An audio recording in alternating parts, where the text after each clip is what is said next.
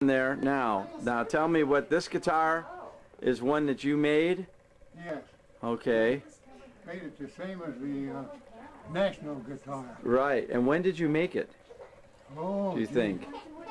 About, 40s, 40 50s, years ago. 60s? In the Yeah. 60s. yeah, Oh, okay. when the Hawaiian music was real Wow. popular. So it might have been 56s or Okay. 60s. Yeah, All right. Okay. What has it got? Seven strings on it? seven strings. yeah. Seven strings. Okay. Most of mine are seven strings. I Some are see. eight strings, but I leave one out. Yeah. Seven. Okay. All right. Now I'm going to put this on pause and we're going to grab another one. here. All right. You want this hanging down? Oh, that's okay. Yeah, let me see that little headstock there. I can see the Dobro signature on it, or logo. All right. So tell me about this one. Well, I bought this about uh, oh, about 40 years ago, Okay. and uh, I play. Did you buy it brand new or was it used? I used it bought brand new. Bought it brand new. Brand new. Yeah. So it was built sometime in the 60s, I guess. yeah. If it was 40 years ago. All right. And I paid a hundred dollars for this one, and a hundred dollars for the case. Really? Uh-huh. Oh, man.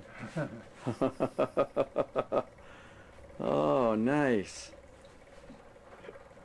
Hmm. And you said you started playing in, on the bus going to the football games is when you first started playing guitar Uh, in high school. in high school. Well, let's see. When did you graduate from high school? Do you remember what year? no, No? I have it in a drawer in there. I could look Yeah. it up. well, let's see. He was born in 1912, right, Grandpa? Yeah. Oh, I was born in 1912. Nin- So he wanted to know, uh, 1912, so let's see, you would be 17 or so when you graduated, so 1912, 22, about 1929. Maybe so. 1929, 1930. Okay. Yep. Got it. Ukulele that Mary plays. Now what, uh, that looks like it's a vintage. Yeah. That's from made by Martin. Martin, they're the best. Okay, did you buy this, ones as far did you buy this one brand new? Yeah. Okay, used to be Bud. I see. He didn't play it, so Mm-hmm, Mary Lou have it all right.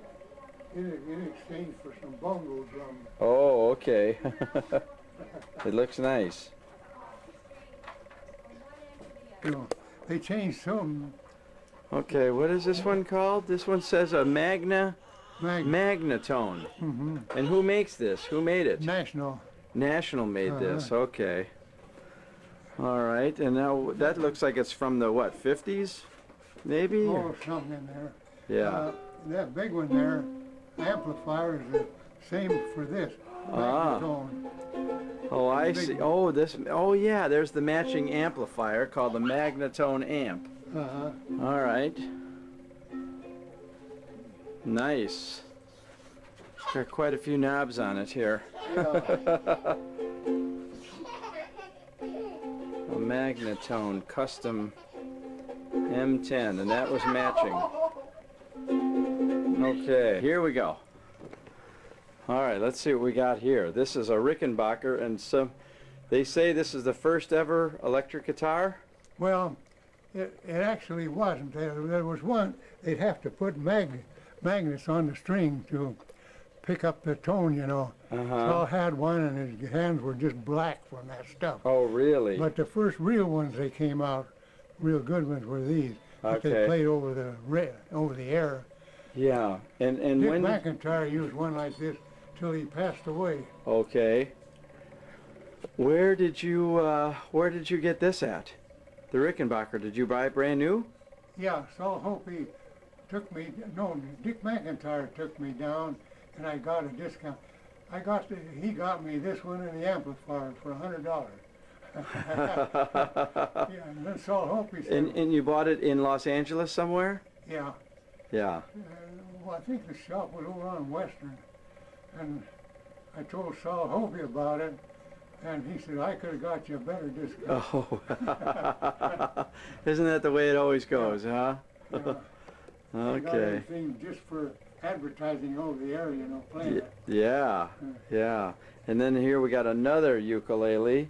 This uh, also is a It's Martin. Also mine, Yeah. Okay. So of of all these here, I'm going to put this one over here. We can look at all four of them at the same time here. Which one which one of these is your favorite to play? This one. The one that you Oh. made by hand. Yeah, all through the years we used this one. Yeah. All my recordings almost for that one.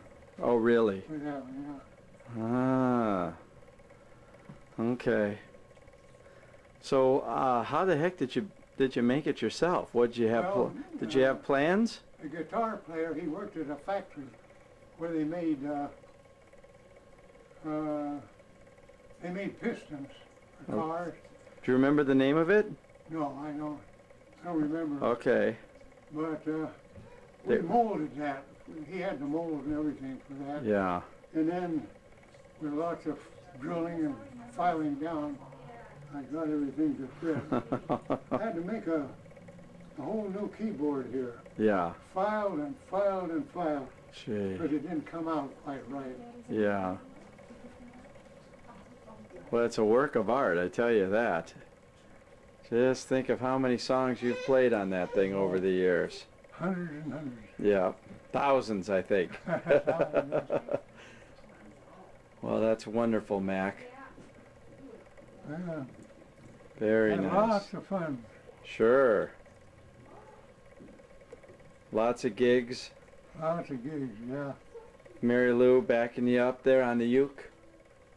Yeah, we uh, used to play uh, play for uh, some teachers She used to teach Hawaiian music, Yeah. and she'd get us all these different shows and things. Okay.